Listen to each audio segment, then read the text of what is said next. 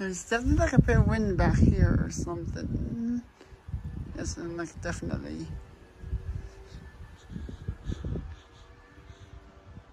And of course there's a leaf blower in the background. I can hear it of course.